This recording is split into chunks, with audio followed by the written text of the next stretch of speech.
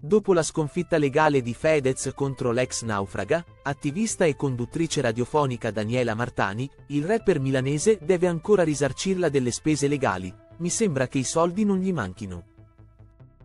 Dopo la sconfitta legale di Fedez contro l'ex naufraga, attivista e conduttrice radiofonica Daniela Martani, il rapper milanese deve ancora risarcirla delle spese legali, mi sembra che i soldi non gli manchino ha scritto l'ex hostess di volo che ha partecipato anche al Grande Fratello nel 2009.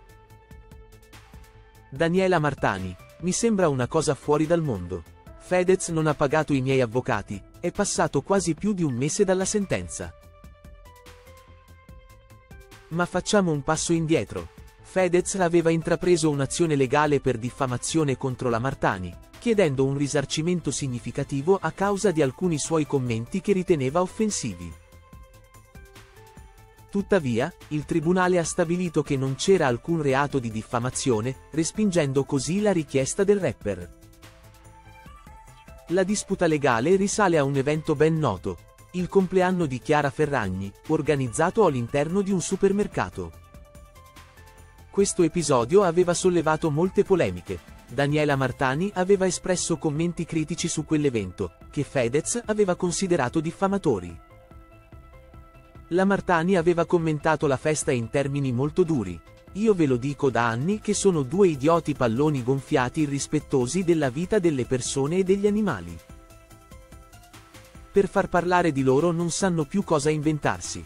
Fare una festa a casa era troppo normale, altrimenti chi glieli mettevi che, in seguito a queste dichiarazioni, Fedez aveva deciso di querelare la Martani per diffamazione, chiedendo un risarcimento di 100.000 euro per i termini offensivi usati dall'opinionista. Tuttavia, il giudice ha respinto le accuse di Fedez, dichiarando infondata la sua richiesta. Di conseguenza, il rapper non riceverà il risarcimento che aveva chiesto. Daniela Martani che aveva espresso la sua soddisfazione per la conclusione della vicenda giudiziaria, oggi è tornata a parlare della vicenda e sembra che non abbia ancora ricevuto il risarcimento delle spese legali da parte del rapper milanese. Io sono davvero sconvolta. Fedez non ha pagato i miei avvocati.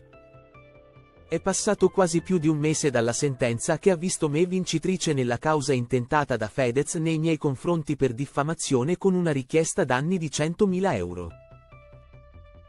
E, nonostante il giudice abbia stabilito che Fedez deve pagare i miei avvocati una cifra non la posso dire per questioni di privacy, lui non ha tirato fuori neanche un centesimo.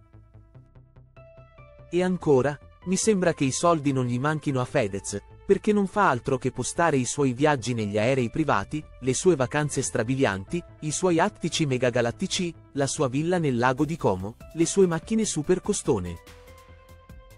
Insomma, i soldi li ha. Avrei potuto capire se una persona non avesse avuto la disponibilità economica, ma non me lo sarei mai aspettato da uno come Fedez che non fa altro che scialacquare i suoi soldi a destra e a manca, mostrando quanto lui sia ricco però ha dovuto indurre i miei avvocati a mandargli un atto di precetto, quindi richiedere un pagamento forzoso. Mi sembra una cosa fuori dal mondo.